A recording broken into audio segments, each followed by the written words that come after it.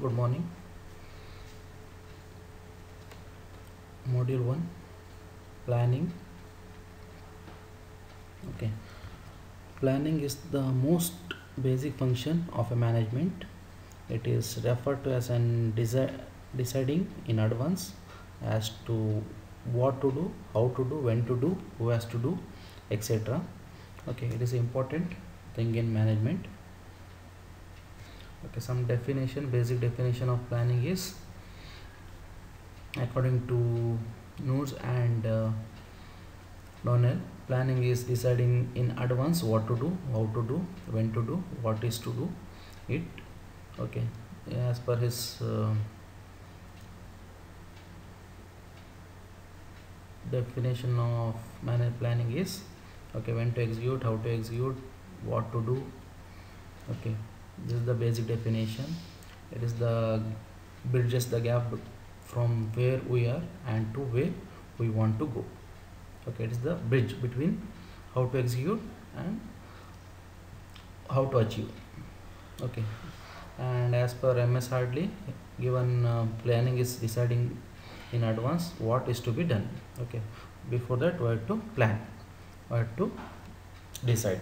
That is called planning. It involves a selection of objectives policies procedures programs from among alternatives. It involves policies procedures. Okay first have to fix the objective. Everything comes under this sentence of as per hardly sentence. Okay planning is that function of the manager in which he decides in advance what he will do it is a decision making process of special kind of management. It is an uh, intellectual process in which creative mind and imagination are essential.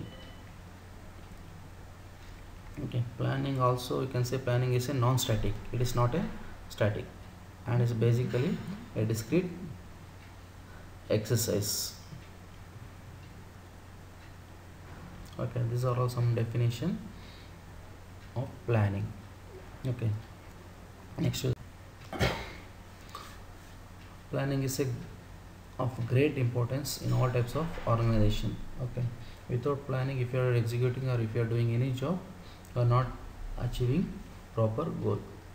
Okay. Or we can't uh, complete our work properly. So first we have to fix the goal okay and plan how to execute when to execute when we have to complete the work everything we have to plan. Okay without planning business decision become random and hope choices. Okay without uh, planning the anything will not happen. Okay first we have to plan some points. Okay uh, first one is to minimize risk. Okay uh, the organization continuously interacts with the external dynamic environment where there is a great amount of risk and uncertainty.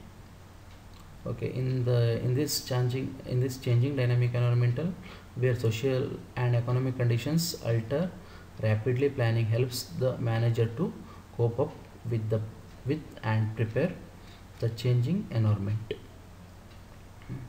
Okay then the this logic decision making based on the on plans to organization minimize the uncertain uncertainty and risk always.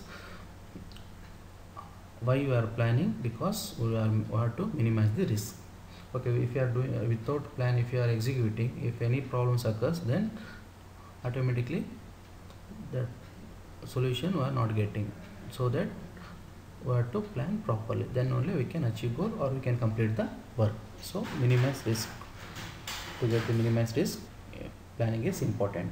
Next uh, important thing is focus attention on objectives. If you are properly planning then we can achieve we can concentrate only the objectives. First you are fixing the objective okay.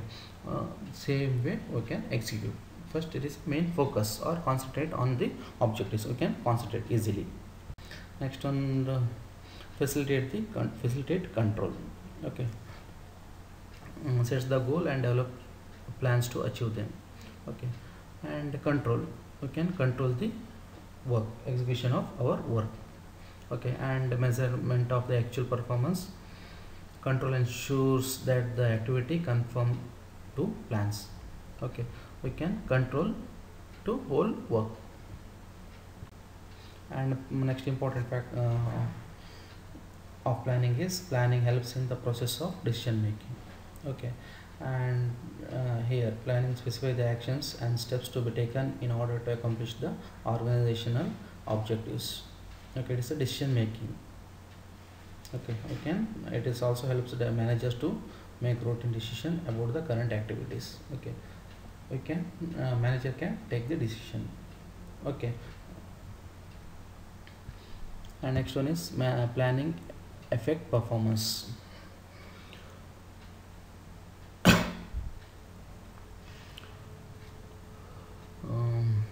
number of uh, empirical studies provide evidence of organizational success being a function of formal planning.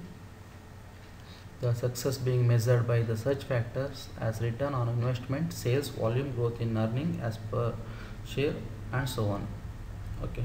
And an investigation of firms in various industries products as machinery steels oils chemicals wiring drugs revealed that companies that engaged in a formal planning consistently perform better than those with no formal planning. Okay and also performance. We can team members or staff they will perform well. Okay when you are planning to proper job okay that job will execute proper way. Okay but uh, performance is better then we can get we can achieve the goals next is these are all some uh, importance of the planning. Next you study the types of management based on some factors the segregated into type planning. Okay for example coverage of activities they are segregated into corporate and functional planning based on uh, the importance of contents dimension strategic and operational planning. As per time period involved long term and short term planning approach adopted proactive and reactive planning degree of formalization dimension formal and informal planning. These are all some types of planning based on some dimensions. Okay next we'll study the strategic and tactical planning. Uh, here I have given the difference between strategic and operation. Operation is nothing but tactical. Okay in strategic planning it decided it decided major goals and policies policies of allocation of the resources to achieve these goals but when it comes to operational planning it, it decided the details use of resources for achieving these goals. Okay. Just achieving the goals. Here we can follow the follows policies in strategic planning. In strategic planning it is carried out at higher level. Okay the strategy will work out by the higher level management but operational tactical planning here lower level management. Strat, uh, strategic it is a long term process but the operational planning it is a short term and it is a less detailed. Strategic planning is a less detailed but operational or tactical it is a more details required or more details detailed things will proceed.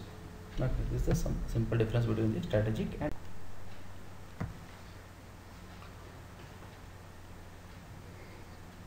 then we have to go for alternative method. That one also I have to identify. Evaluation and selection of alternatives.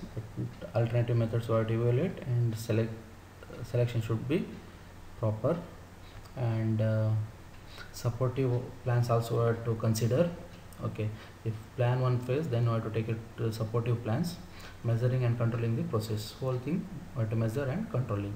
Then only planning will proper okay by using this planning we can achieve the goals. We can reach our target. Okay this is about the planning. Okay thank you